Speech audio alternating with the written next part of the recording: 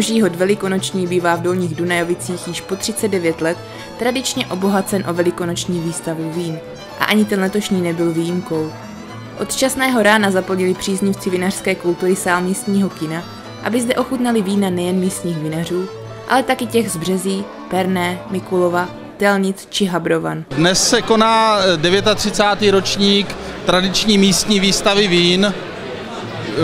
Už od prvopočátku probíhá vždycky o velikonoční neděli.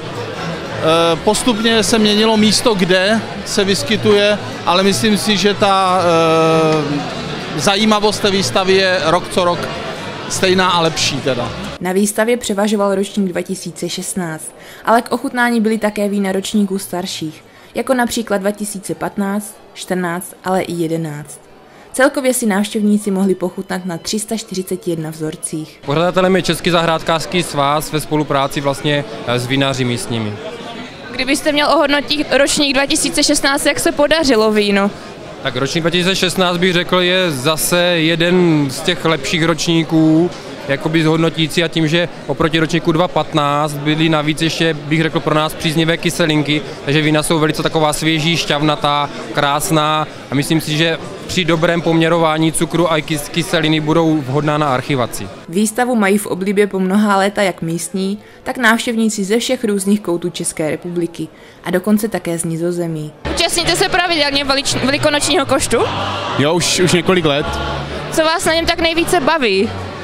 Eh, že tady eh, je takový průřez s těmi zdejšími vinařstvími, že poznám ty menší vinaře, ke kterým se tak normálně člověk nedostane, i ty velké, kteří třeba mají vína i na otevřených sklepech a na podobných akcích, že to tak jako člověk může srovnat. Přijeli jsme eh, z Prahy, z Liberce, z Ostravy tady s kamarády. Jak se vám tady zatím líbí? Jo, moc, hrajou pěkně, počasí dobrý, vína dobrá, je to perfektní. Jaká vína vás zatím zaujala?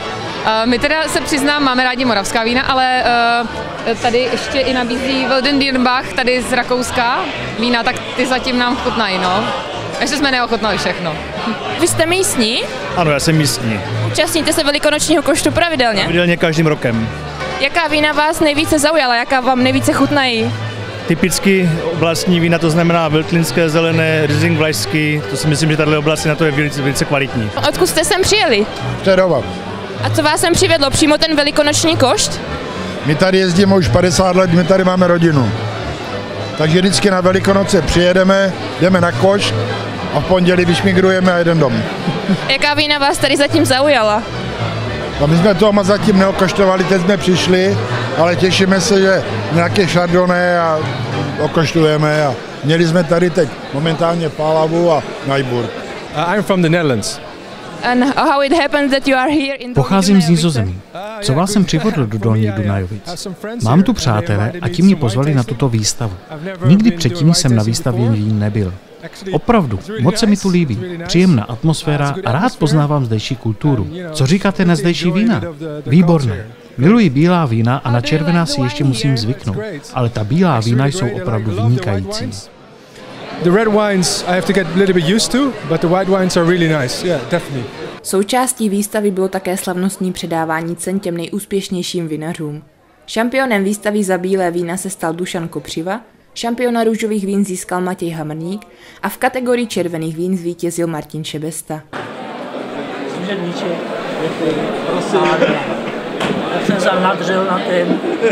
Máš kolečka? Vy jste úplně všechno. Jak dlouho už se vinaření věnujete? Když to vezmu, tak asi 20 let, co jsem přišel po vojně, takže asi 20 let. Co nebo kdo vás k tomu přivedl? No, tady vlastně všichni vinaři a tady takové akce, jak jsou tady dnes, tak eh, jsou eh, jakoby zajímavé, takže spíš taková ta kultura tady jakoby společných akcí. Já se zabývám vinařstvím jakoby koníček, takže spíš to mám jakoby hobby a odreagování. Na jaká vína se specializujete? Na ty, které mám ze své vinice a to je asi 8 odrůd, takže vyloženě tady ze své, ze své vinice. Vy jste tady byl dneska oceněn, mohl byste nám představit víno, za které jste dostal cenu?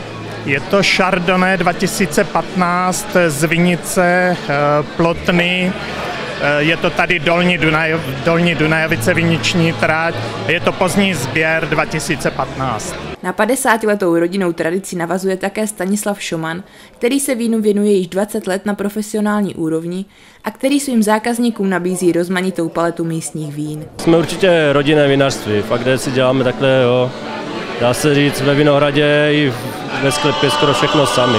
Máme no tak... Na jaká vína se specializujete?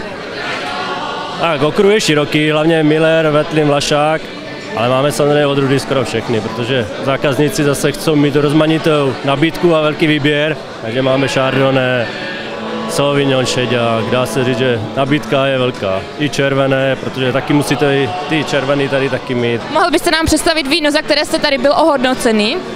No, tak tady máme Muškan Moravský jako vítěz odrůdy a Najburg. Takže jsou to mladý odrůdy, mladý vysadby, muška, aromatická, je, vůně, všechno chuť, takže jsou to plný vína. A Najburg zase takový kořenitější, suší, zase úplně odlišný na delší pití. Ty muškáty jsou takový takový pro začínající pěkně chuť, všecko vůně, ale rychle se to přepije. Dalším vinařstvím, které na místní výstavě vín sbíralo body, bylo vinařství Volařík. Vinařství Volařík je z Mikulova, pan Volařík pochází z Dolní Dunajovic, vinice máme kolem Pálavy, takže Perná, Dunajovice, Březí, Mikulov. Hlavní vlastně, jakoby, když to řeknu tím, co děláme nejvíce, je Riesling Vlašský, Riesling Rýnský, Veltinské zelené a dnes hlavně bílé vína. Za jaká vína se tady byli dnes oceněni? Pálava, Riesling Vlašský, Riesling Rýnský, mohli bych pokračovat. Získali jsme vlastně nejúspěšnější kolekci, což je vlastně nejvyšší hodnocená e, kolekce všech vín, takže se nám podařilo, nebo byly dobře hodnocené všechny vína.